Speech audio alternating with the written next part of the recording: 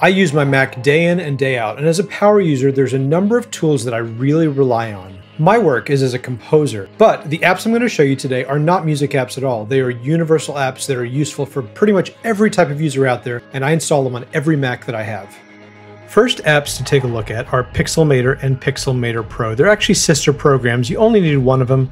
I'll recommend Pixelmator Pro if your computer can run it. Or you can go to the junior version, Pixelmator. Each program runs between 15 to $40 depending on whether you can catch it on sale. Both of these programs are absolutely amazing image editors. They're basically Photoshop equivalents, but you're getting them at a very discount price. They are super fast, easy to use, and can basically handle anything graphic you ever want to throw at them. I use Pixelmator when I'm coming up with event banners, or when I'm trying to edit out objects, or when I'm designing t-shirts. Basically, every time I need to do something graphic, I turn to Pixelmator, and you just can't beat the value for the price. You are literally getting a Photoshop equivalent for under $40.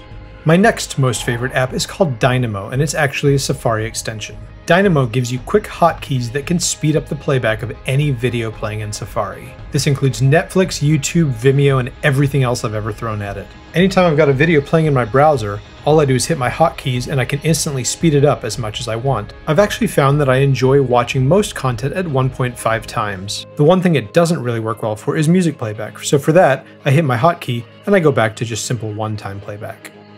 Next in my list of favorite apps has to be Keyboard Maestro. You can find it at keyboardmaestro.com. This is a power user's dream app because you can automate almost anything on the entire computer. I find new uses for Keyboard Maestro on an almost daily basis, and here's some examples of how I use it. Here's a quick routine I wrote to painstakingly copy some entries I made in Google Sheets over into Final Cut Pro as markers. I start a repeat action so it repeats everything in this container 29 times. I activate Safari, I click on a cell, I copy that to a temporary clipboard, I pause, I hit right arrow, I copy another cell to a different clipboard, I pause, I hit down arrow, down lower I switch into Final Cut Pro, and then I set up my markers and I paste the information I found. Then I loop the entire thing 29 times so I don't have to sit there and do it myself. Here's a quick routine I wrote when I want to make a social media post. It opens a new Safari window with Facebook, and then another tab with Twitter, another with LinkedIn, another with Instagram, and then it switches Instagram into developer mode so I can actually post from the desktop. Some of my routines are really, really simple. Here's a very simple one that does nothing but activate Chrome and open up Sling if I want to watch TV.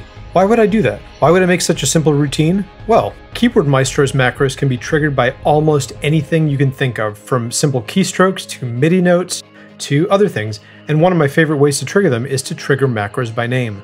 Here, every time I hit Control Space, I bring up the Trigger Macro by Name function. It looks a lot like Spotlight, and all I have to do here is type what I want, hit Return, and it'll do it for me. Next up is ScreenFlow. ScreenFlow is pretty much the ultimate screen capture and linear video editing tool I've ever used. It lives in my Mac's menu bar, and anytime I need it, I can simply go there and tell it to start recording my screen. It can record multiple screens, it can record iPhones and iPads, it can even capture multi-track audio from the system. In fact, it's capturing my voice and my screen right now. Then, once you get inside the editor, it's extremely easy to annotate, zoom, edit, and do any kind of touch-ups to your video. Then with a couple clicks more, you can publish them straight to YouTube or any other video destination. Sometimes I use it not only for professional tutorial videos, but even if I just need to show a friend how to do something, I'll just hit that record button, demonstrate it, narrate it, upload it to YouTube, and call it done. Handbrake is the Swiss Army knife of video transcoding and compression, and it's entirely free. You can get it from handbrake.fr. When you first launch Handbrake, it'll ask you what video file you want it to load. Then simply use the preset menu to choose the preset you need. If it's headed for the web, you might use the Vimeo YouTube high quality option at 1080p. This preset can shrink files by more than a half their file size without any discernible quality difference. There are also device presets if you're going to Android or Apple TV or Chromecast or any other popular destinations. On occasion, if a client sends me a very large 4K video file and I'm going to score music to it, I don't really want my computer using so much power to display that 4K movie in a tiny thumbnail on my screen while I write music around it. So I'll run the video through Handbrake and use a general fast preset and maybe shrink it down to 720p. My new working version is so much smaller and easier for my computer to play, and now I can use its power for the things I really need it to do, like playing back virtual instruments. These apps just scratch the surface of what I consider absolutely indispensable tools for my workflow. So let me know in the comments below what your must-have Mac apps are, and give a like and subscribe for future videos where I'll show you some of my other favorite tools.